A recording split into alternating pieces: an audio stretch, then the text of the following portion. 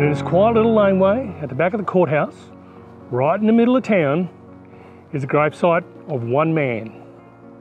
Who was he? Why was he buried here? And when did it happen?